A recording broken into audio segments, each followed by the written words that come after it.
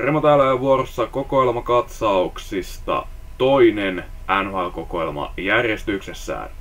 Florida Panthers kuuluu näihin alkupään kokoelmiin halvan hintansa puolesta. Jotenka Florida Panthers ei ole paljon menestystä niittänyt NHL-kaukoloissa playoffeissa vain kerran viimeisen vuosikymmenen aikana näin ollen. Täältä löytyy oikeastaan vaan kaksi semmoista isoa äijää nyt tässä Hutin puolelta, kokonaisuuden puolelta. Ne on Jaromir Jagr, Roberto Luongo 8786. Lisäksi täällä on Ekblad 85 maksaa sekin jotain, mutta ei se varmaan niin hirvittävästi suhteessa. Paito ja tommonen, tommonen kavalkaadi siellä. Ja pelaajistoa tietysti suomalaisikin löytyy Barkovin ja Jokisen muodossa täältä. Jotenka pistetään tietoja ruutuun tästä. Eli tää oli suoritettu juttu mulla ensimmäinen lokakuuta. Tästä saa kuusi palkintopakettia ja noin paidat yhteensä about kolme tonnia, unrar-pelaajat 5,5 tonnia, rahet 63 tonnia about siihen pintaan, eli yhteensä 72 tonnin kokoelma noin. Ja siitä kun otetaan hintalaatusuhde, niin se meinaa semmoista 12 tonnia per paketti. Eli saas nähdä miten toi nyt sitten muotoutuu toi hintalaatusuhde suhteessa sitten noihin muihin tuleviin kokoelman katsastuksiin. Tässä oli myös, tää on vähän tämmönen aika laadukkaampi kokoelma kuin se edellinen, koska pelattavuussuhde on 83,7, kun New Jersey oli 83,1.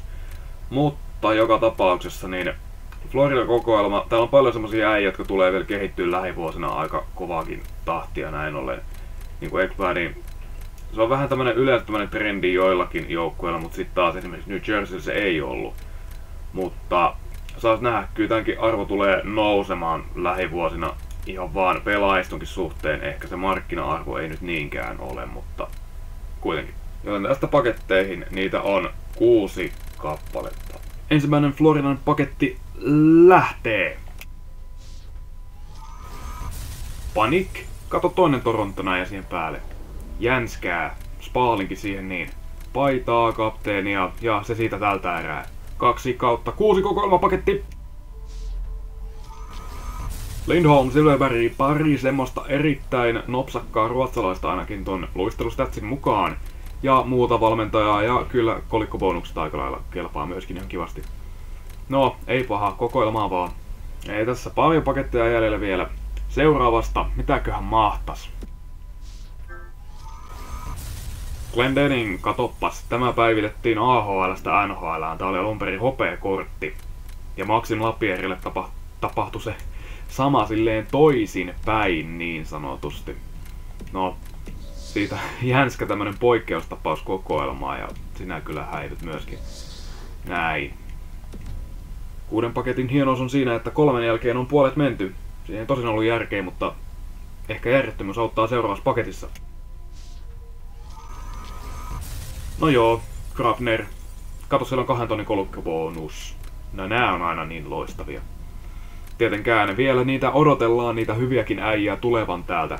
Täältä löytyy, kato kenttäpelaaja plus vitonen, no tuo kyllä jossain vaiheessa tulee käyttöön. Minulla on nimittäin pikkunen juttu kaaveltavana tuolla, eikä näitäkään kylläkään tarvii. Jotenkas, jotenkas on nää, on nää kyllä nyt tässä alkuvaiheessa vielä vähän koettelee nämä paketit meikäläistä. Mutta saas nähdä, sillä onhan tää vasta 11 kautta 254. Greg Smith ei 11 hetki nyt auttanut tässä osalla, koska alle tonnin arvoinen 85 kuitenkin. Lisää palautumista, maalivahtiboostit, äh. Ne voi mennä. Mutta kato, taas sieltä tulee kolikkobonuksia. Ja näin loput sinne niin. Joten viimeinen paketti tänään tässä videossa. 5 kautta 6 menty, yksi jäljellä. Ennakoiko jotain?